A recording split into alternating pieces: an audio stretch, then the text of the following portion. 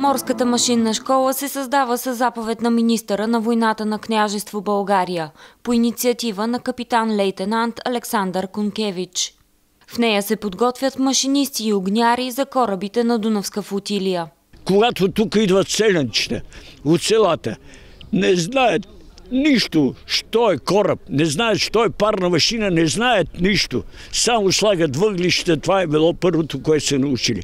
И от тази машинна школа, която е първо техническо училище, израстват следващите поколения технически кадри на България.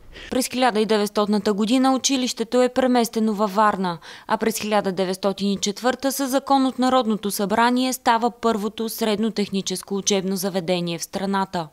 Морската ни Алма Матер бързо се утвърждава като основна национална институция за обучение на кадри за българският военен и търговски флот, за развитието на морското образование и наука. В края на церемонията във Варна бе открита и морска астрономическа обсерватория към Центъра за въздушно и космическо наблюдение на училището.